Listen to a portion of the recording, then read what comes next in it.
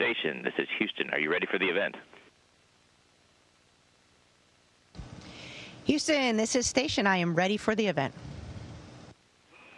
Good morning, America. This is Mission Control Houston. Please call station for a voice check. Station, this is Gio Benitez at ABC News. How do you hear me?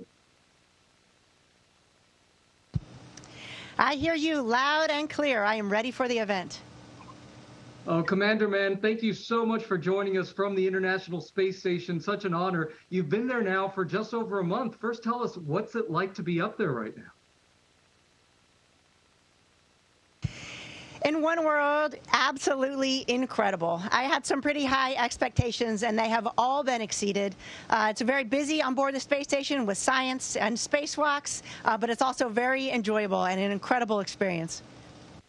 Commander, you have been training for this moment for almost 10 years now. So, what was it like to step foot on the International Space Station? Well, I didn't actually step foot. I kind of just floated through the hatch, which was an amazing experience. After all those years of training, it is really an overwhelming sense of emotions. There's, you know, excitement. Uh, there's a lot of pride. Uh, there's a lot of anticipation for all the uh, exciting work that we have ahead of us on board the space station. And so many around this country are looking at you with pride because you are a first, right? The first Native American woman in space. What's it like to be a first? Do you feel a sort of weight on your shoulders? Uh, you know, I think it's uh, great that we recognize first um, anytime they happen throughout the world. It gives a good message to the rest of the world and, and specifically to the younger generation that there are opportunities for all in this world. Um, and I feel very proud uh, to represent all Native Americans in space and uh, just to represent my country and humans in space as well. When you were growing up, did you look at the space program and say, hey, maybe I can be the first Native American woman to go there? Uh, to be honest, I did not. I was certainly enamored with uh, space and, and science, uh, but that was not something as a child that I realized was an opportunity for me.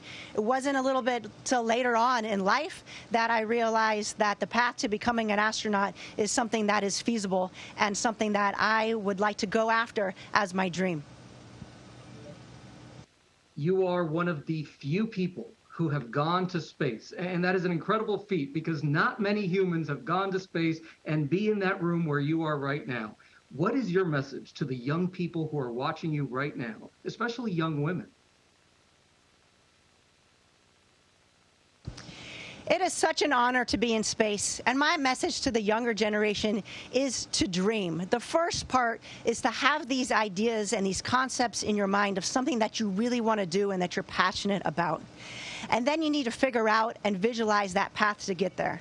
That starts with a good education, and it also starts with relying on people around you that will help you throughout your journey in order to achieve your dreams. It's something you can't do on your own.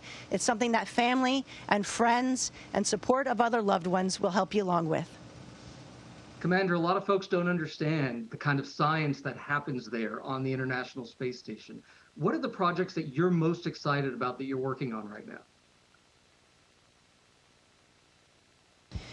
We have over 200 experiments that we're conducting on board the International Space Station.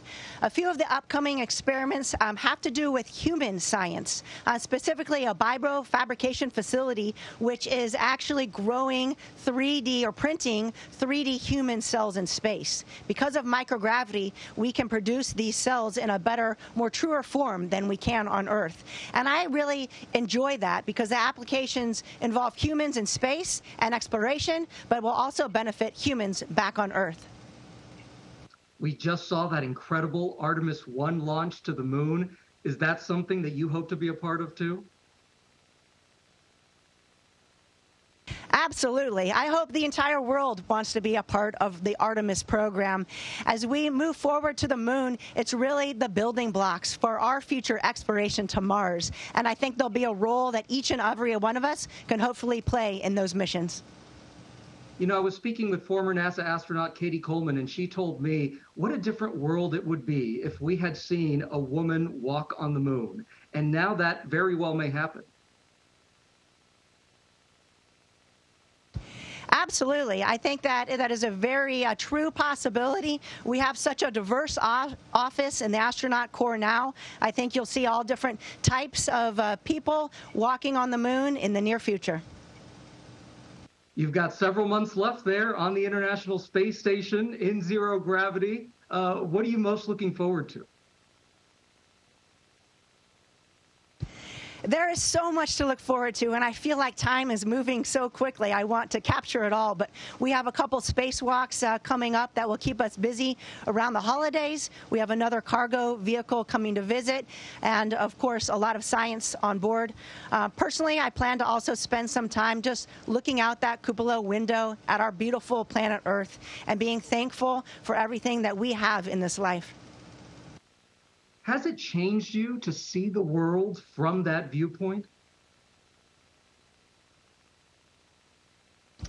I think it drives home some concepts that you're aware of. Uh, you're aware of the concept that Earth is is an incredible, fragile little ball floating in the universe, and that we have people around the world that can be united in our one planet Earth. I'm aware of those concepts and you think about them, but when you're actually in space and you look back at the planet and you see just that fragile atmosphere, it really drives home that point. And it makes it very very true in your heart how important it is that we take care of our planet and how important it is that we unite as human race. Was there anything that surprised you when you got there to the international space station? You've, got to live life very differently don't you You live life very differently. Yes, it's surprising um, how it takes you a couple days just to adapt to microgravity, to floating around where you still don't bump into things, just to uh, feed yourself and not lose all of your food when you're uh, sitting in Node 1 trying to enjoy your meal. Uh, but your body gets used to it, and it's still fun. I still smile every time I float through the lab and just marvel at the, uh, the idea that I'm actually in microgravity. We know that you are on the space station now with your Russian colleagues, and we know what's happening here on Earth with Russia and the United States and Ukraine. What's it like working with your Russian colleagues there now? On board the space station, I think we have a very unique responsibility to maintain focus on the mission, and that's exactly what we do. Uh, we work closely with the cosmonauts. In fact, they had a Russian EVA yesterday that was very successful, and we helped them with some of the transfer of those tools. We have a good working relationship on board, and we focus on operating the International Space Station and conducting their science, and uh, that is uh, our mission focus. Commander Mann, thank you so much for joining us. Such an honor. Thank you very much. It is an honor from the International Space Station. Godspeed. Station, this is Houston AS ACR. That concludes the event. Thank you to all the participants from Good Morning America station. Please stand by while we configure video and audio communications.